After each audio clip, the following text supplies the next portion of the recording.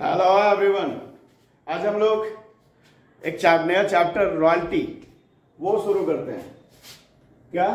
Royalty जिससे कि हिंदी में अधिकार शुल्क कहते हैं। तो सबसे पहले कि भाई ये रॉयल्टी है क्या?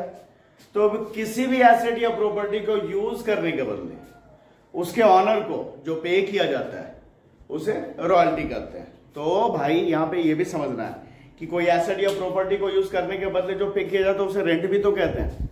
पर दोनों में फ़र्क है। क्या फ़र्क है? तो रॉयल्टी जो है, वो सेल्स और प्रोडक्शन बेस्ड होता है।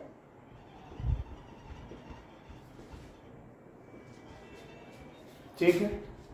मतलब जिस क्वांटिटी में सेल किया जाएगा या जितने क्वांटिटी में प्रोडक्शन किया जाएगा, उसके आधार पर रॉयल्टी पे किया जाएगा। ठीक है? और रेंट जो है, वो टाइम बेस्ड होता है। मतलब स्पेसिफिक टाइम एक फिक्स्ड पीरियड ऑफ़ टाइम उसके लिए ये रेंट पे किया जाता है। ठीक है? चाहे वो पर पर मंथ हो पर ईयर हो, इस तरह से। तो एक तो डिफरेंस ये निकल के आया कि रॉयल्टी जो है सेल्स और प्रोडक्शन बेस्ड होता है। और दूसरा रेंट जो है टाइम बेस्ड होता है। और देखते हैं, एक फ़र्क और दिखेगा कि रॉयल्टी आमतौर पे जो पे किया जाता है माइंस खदान, जिसको बोलते हैं, जिससे कि खोद कर उसके अंदर से, उस माइंस के अंदर से मिनरल्स निकाला जाता है, खनिज पदार्थ, या फिर कॉपीराइट ये कॉपीराइट क्या हो गया कि जैसे कोई बुक का सपोज़ ये अकाउंट्स का जो फाइनेंशियल अकाउंटिंग का जो बुक है एस एम शुक्ला का और उसे किसने छापा है? तो साहित्य भवन पब्लिकेशन ने छापा है। तो पब्लिकेशन हाउस से साहित्य भवन, जबकि बुक को लिखने वाला है एस एम शुक्ला तो साहित्य भवन का एस एम शुक्ला से ये बात हुआ होगा कि भाई आपका पर बुक जितना मार्केट में बिकेगा, हम जो छाप कर बेचेंगे तो जितना बुकेंगे बुक बिकेगा पर बुक आपको इतना रॉयल्टी पे किया जाएगा। तो वो कॉपीराइट लिया है बुक को छापने का किसने? साहित्य भवन ने। ठीक है? बुक किसने लिखा है? एस एम शुक्ला ने। रॉयल्टी किसे मिलना है? एस एम शुक्ला को। ठीक है? तो ये कॉपीराइट तो रॉयल्टी किस पे? या तो माइंस हुआ कॉपीराइट हुआ ट्रेडमार्क हुआ पेटेंट हुआ, इन सब पे होता है है ना? इटीसी जबकि तो यहाँ पे देख रहे हैं कि यहाँ माइंस क्या है? टेंजिबल एसेट्स है।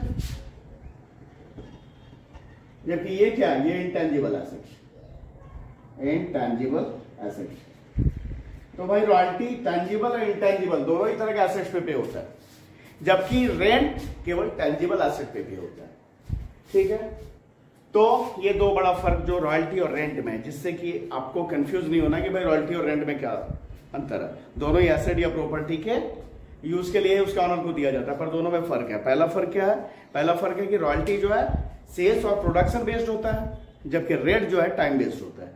दूसरा कि रॉयल्टी जो है टेंजिबल और इंटेंजिबल एसेट दोनों पे पे किया जाता है, जबकि रेंट जो है केवल टेंजिबल एसेट पे पे किया जाता है। ठीक है?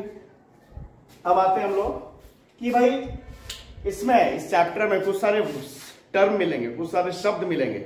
उसका मतलब क्या है? तो सबसे पहले तो हम लोग समझते हैं कि यहाँ पे जो ऑनर है, उस एसेट का, उस प्रॉपर्टी का, उसको क्या बोलते हैं? तो उसको बोलते हैं लैंडलॉर्ड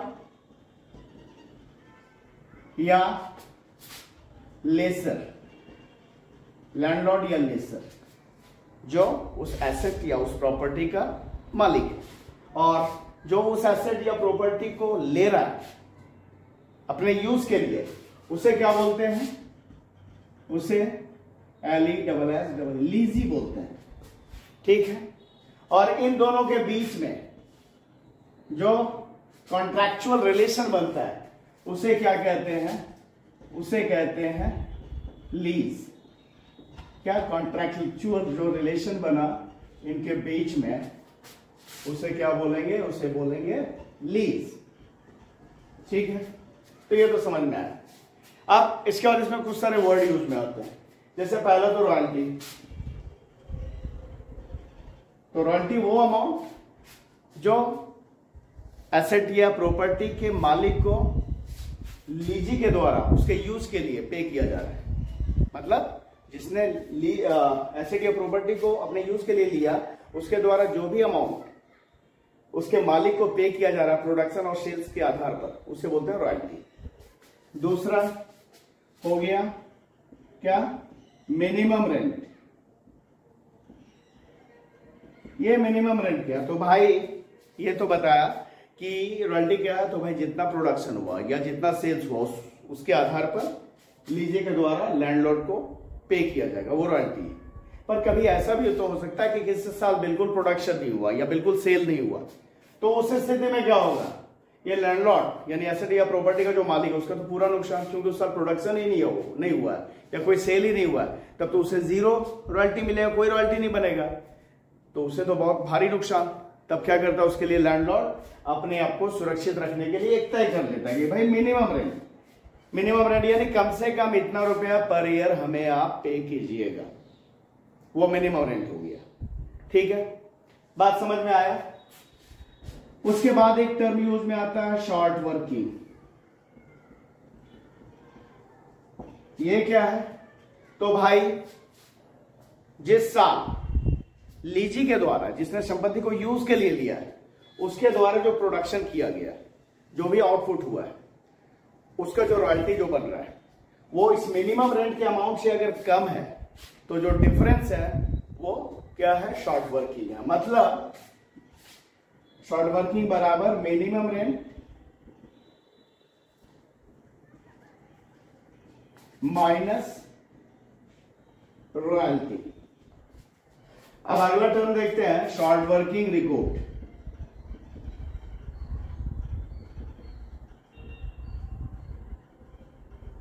ये क्या है? तो भाई वो जो शॉर्ट वर्किंग हुआ सपोज़ किसी साल मिनिमम रेंट से रॉयल्टी कम रहा।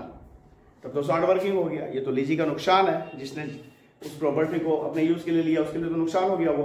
तो उस नुकसान को, उस शॉर्ट वर्किंग को कंपनसेट करने का जो मौका है, जो कंपनसेट किया जाता है उसे बोलते हैं शॉर्ट वर्किंग रिकूप इसके लिए सवाल में कंडीशन दिया रहता है कि कब तक उसे रिकूप कर सकता है वो? कब तक उसे कंपनसेट कर सकता है वो? मतलब जिस साल शॉर्ट वर्किंग हुआ, उसके अगले साल या उसके अगले दो साल या जब चाहे तब तक मतलब जब भी कभी आएगा एक्सेस पैसा, तब रिकूप कर लेगा। तो वो जो कंडीशन दिया रहेगा सवाल में, उसके हिसाब से। तो ये कहा है कि शॉर्ट वर्किंग को जो रिकूप किया जाता है, जो कंपनसेट किया जाता है, वो होता है शॉर्ट वर्किंग रिकूप अब इसके बाद में होता है unrecoupable short working unrecoupable short working ये क्या होता है? तो भाई, जो एक मौका दिया गया कि भाई आपका अगर किसी साथ शॉर्ट वर्किंग होता है तो उससे आप इतने समय के अंदर रिकूप कर सकते हैं कंपनसेट कर सकते हैं। वो समय गुजर जाने के बाद फिर वो अगर, फिर भी शॉर्ट वर्किंग बचा रह गया तो उससे फिर आगे रिकूप नहीं किया जा सकता है। वो लीजी का पूरा नुकसान है। उसे बोलते हैं अनरिकोपेबल शॉर्ट वर्किंग ठीक है? अब एक और शब्द हम लोग समझ लेते हैं सरप्लस सरप्लस क्या होता है? तो भाई सरप्लस क्या है? ये शॉर्ट वर्किंग का उल्टा शॉर्ट वर्किंग कब होता है? जब मिनिमम रेट ज़्यादा हो गया रॉयल्टी कम है तो शॉर्ट वर्किंग और सरप्लस कब? जब रॉयल्टी ज़्यादा है। और मिनिमम रेंट कम है तो जो डिफरेंस है, वो है सरप्लस ठीक है? और इसी सरप्लस से हम अगर कभी शॉर्ट वर्किंग रिकूप करना है तो इसी सरप्लस को यूज़ कर सकते हैं। अगर सरप्लस नहीं हुआ तो शॉर्ट वर्किंग को रिकूप नहीं किया जा सकता है। ठीक है? अब हम लोग जर्नल एंट्री देखते हैं, दोनों के बुक में। मतलब संपत्ति के मालिक लैंडलॉर्ड या लेसर के बुक में, और संपत्ति को जिसने लीज पे लिया है यूज़ करने के लिए लिया है लीजी उसके बुक में। तो पहले यहाँ journal entries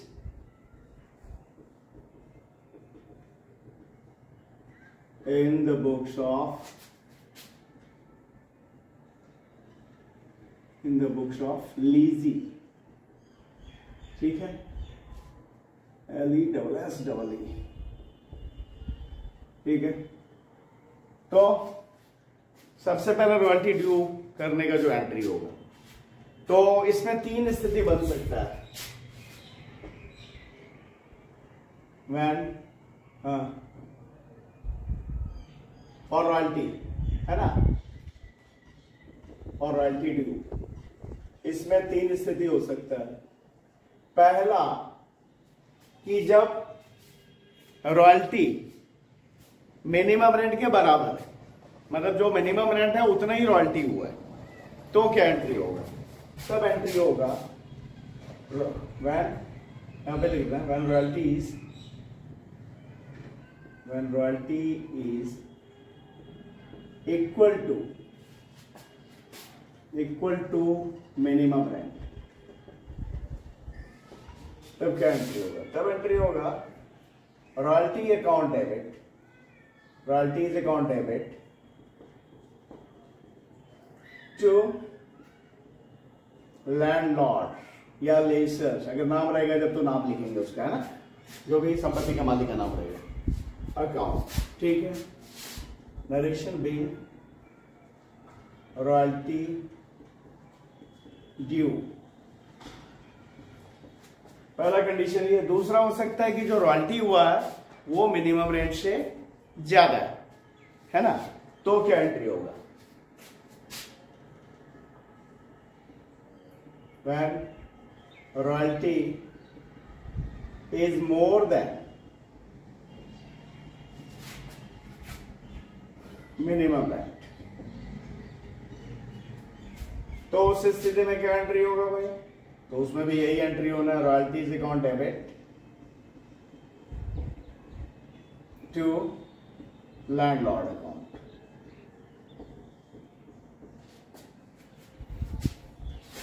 यहाँ भी क्या होगा? Same narration being royalty due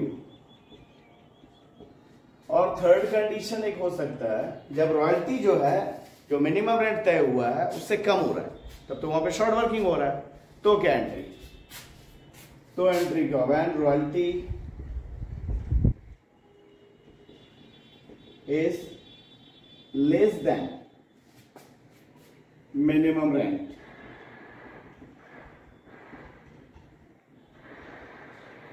तो एंट्री क्या होगा?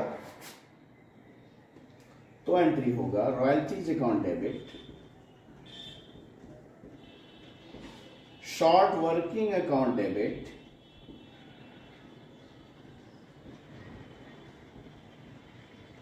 to landlord's account ठीक है? Being royalty. And short working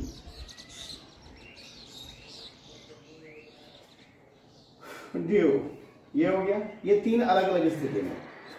मतलब कि अगर रॉयल्टी मिनिमम रेंट के बराबर है तो अगर तो वो एंट्री यहाँ पे हो गया कि royalty is equal to minimum rent तो royalty account debit to landlord account में रॉयल्टी मिनिमम रेंट से ज़्यादा है तो भी वो entry royalty is account debit to landlord पर अगर रॉयल्टी मिनिमम रेट से कम हो गया तो वहाँ शॉर्ट वर्किंग हुआ। तब एंट्री होगा, ये वाला। Royalties account debit short working account debit to landlord account ये तो रॉयल्टी के लिए एंट्री हो गया, जो रॉयल्टी ड्यू होगा उसके लिए। उसके बाद ये, उसके बाद में आएगा बात, ये किसके बुक में कर रहा है? लीजी के बुक में। जिसने एसेट को अपने यूज़ के लिए लिया है लीज पे, उसके बुक में।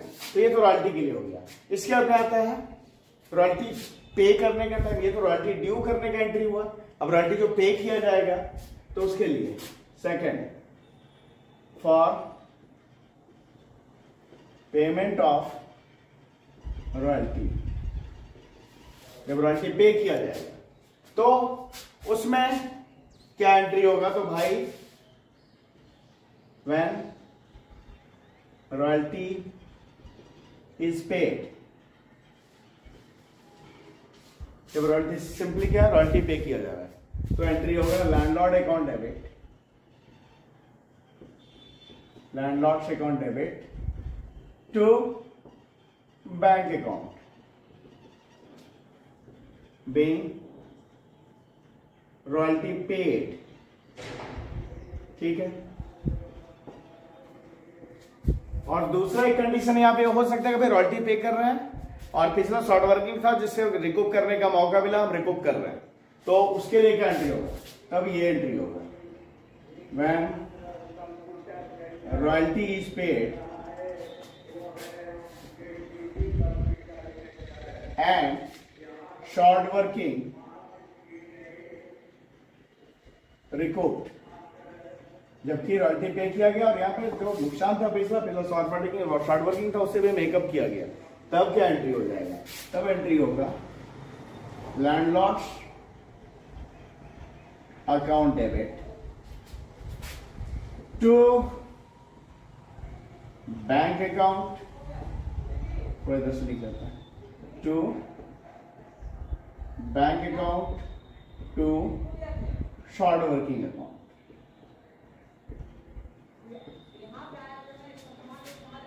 bank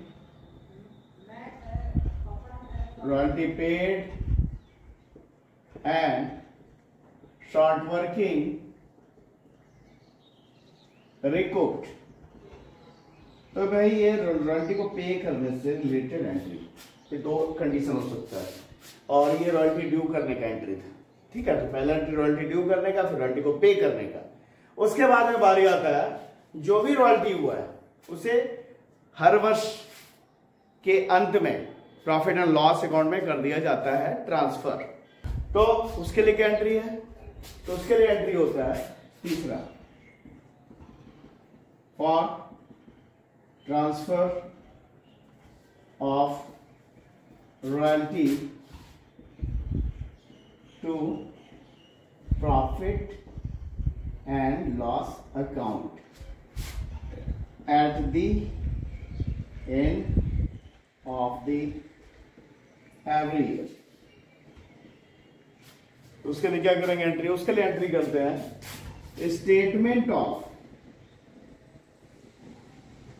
profit and loss account या केवल profit and loss account debit भी लिख सकते हैं। डेबिट टू रॉयल्टीज अकाउंट जितना रॉयल्टी हुआ है उससे पीएल में कर देंगे transfer being the amount of royalty transferred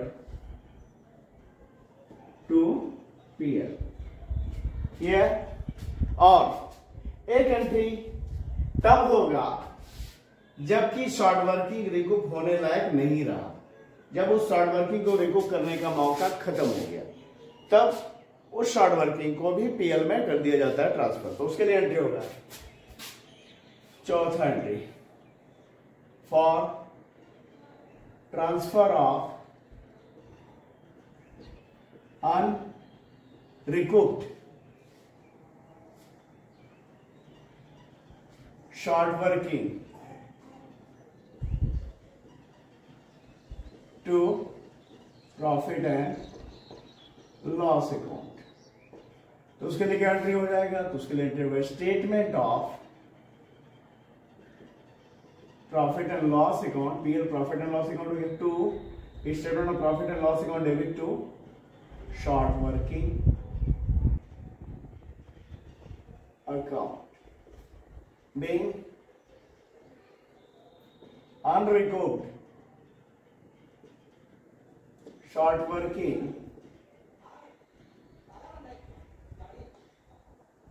Transferred to PL तो अभी मैंने जब शुरू किया था तो बताया था कि दोनों के बुक में लीजी के बुक में भी लैंडलॉर्ड के बुक में, दोनों के बुक में जर्नल एंट्री क्या होते हैं, वो देख लेंगे। पर उस चक्कर में क्या है वीडियो लंबा बन जाएगा बोरिंग हो जाएगा।